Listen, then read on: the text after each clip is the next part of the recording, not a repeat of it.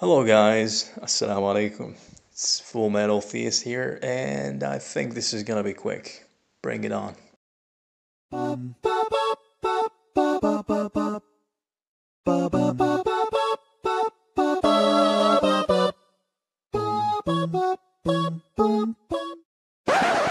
So, what are we doing today? We're doing a side quest. And what is a side quest? You know, in video games, when instead of doing the main mission, you do the secondary mission?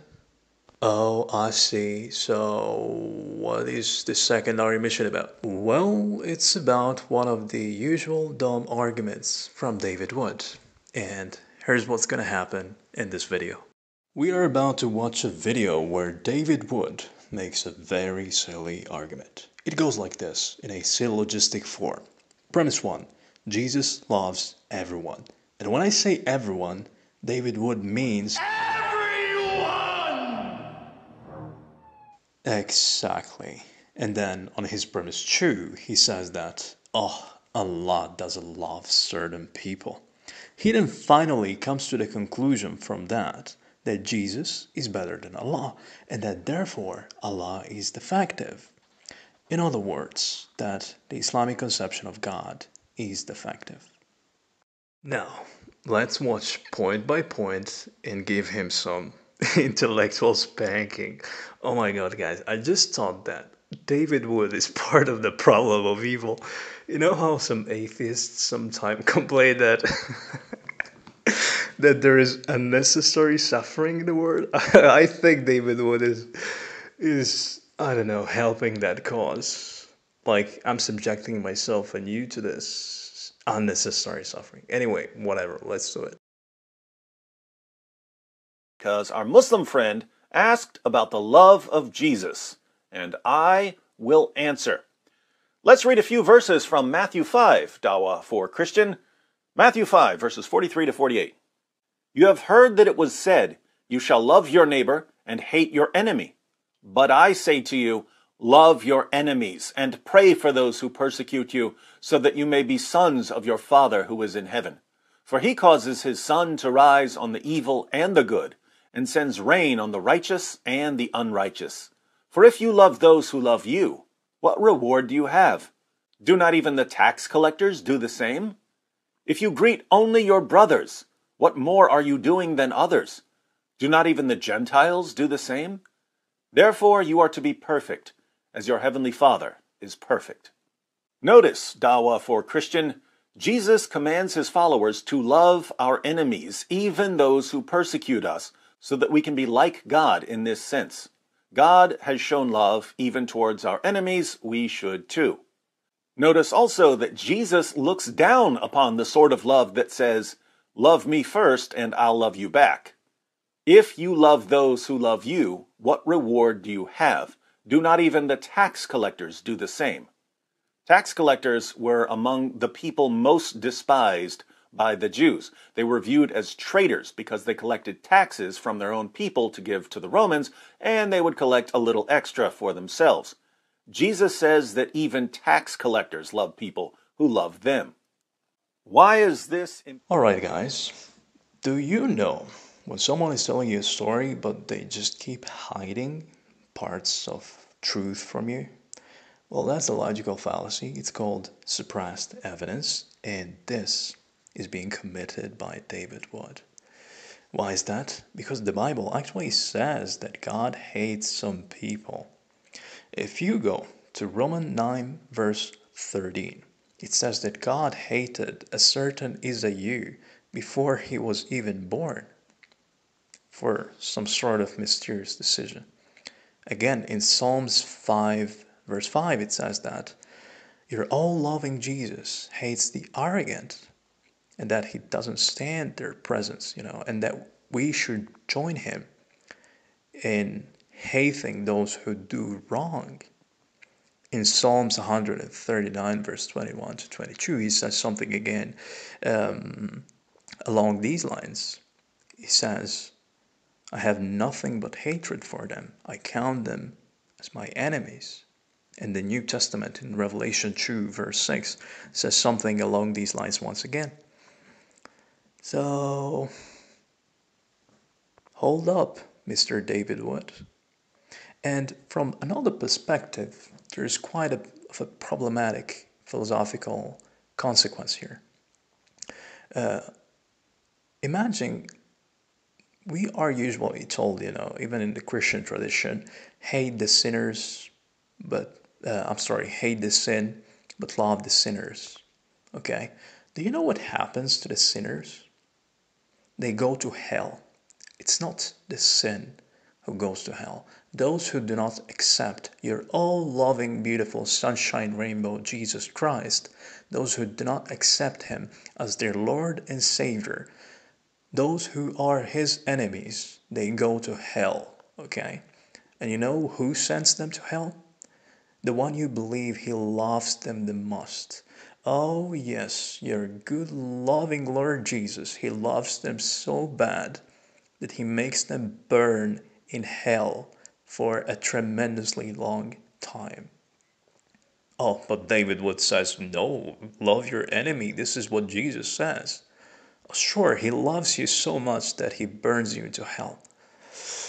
Oh, David Wood, your gibberish arguments and your lack of, I don't know, do you ever sit down and think this stuff before you speak it? Anyway, let's go on the second part. Why is this important for you to know, Dawa for Christian? Well, what kind of love does Allah have? In Surah 3, verses 31 to 32, Allah tells Muhammad to say, If you love Allah, then follow me. Allah will love you and forgive you your faults, and Allah is forgiving, merciful. Say, Obey Allah and the Apostle, but if they turn back, then surely Allah does not love the unbelievers.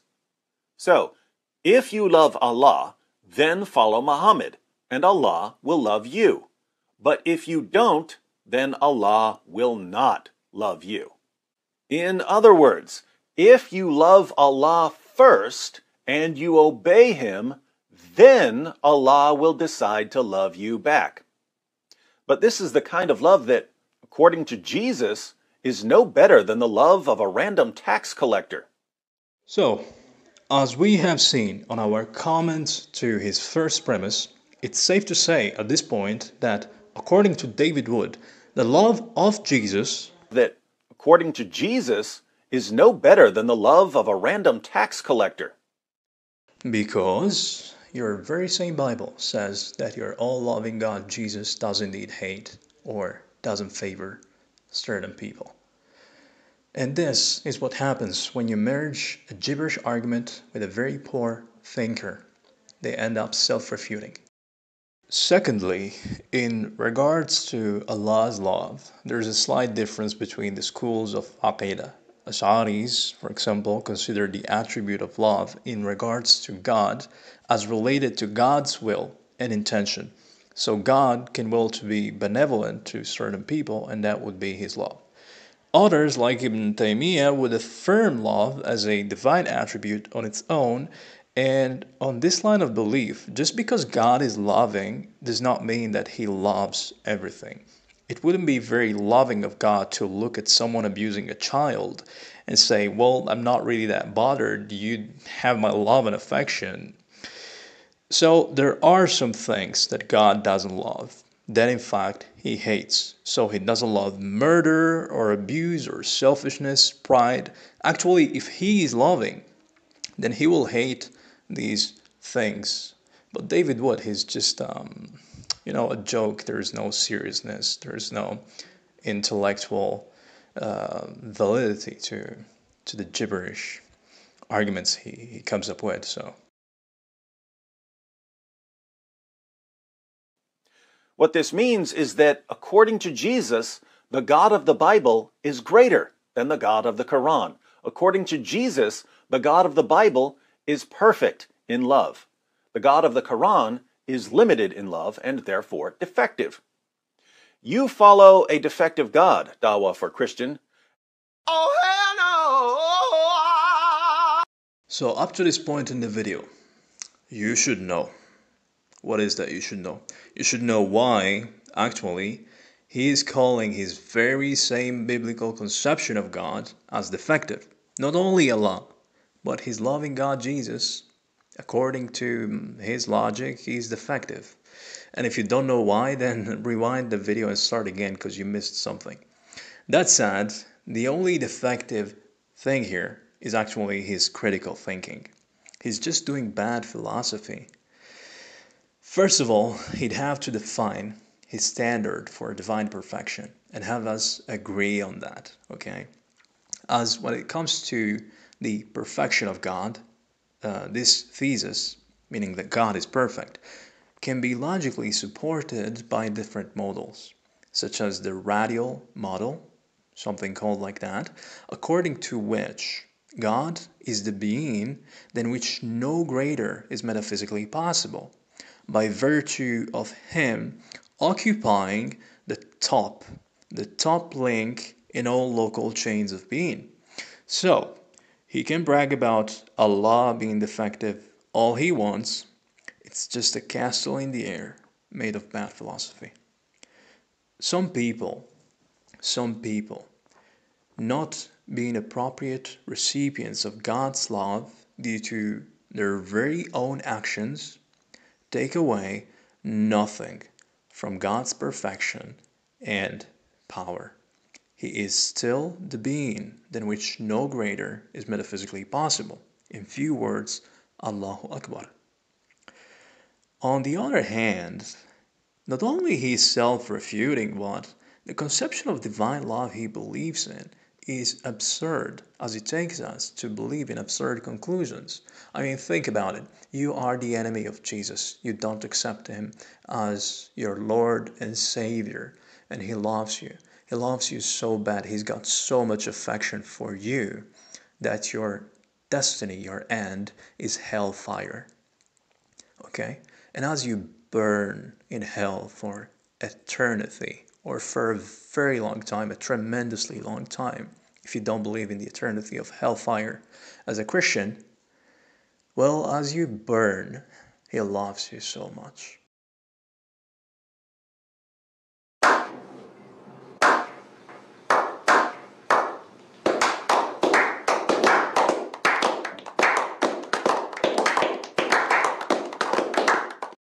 And enough with David Wood's nonsense. Anyway, I made this video actually for a reason. David Wood, I don't care about him. Uh, um, I just want to update you. I've been working on Hinduism recently, but due to some personal issues, it's taking me longer than expected. Inshallah, I apologize for that, and just be patient, and there shall come more content in the future, God willing. Thank you for watching. Assalamu alaikum.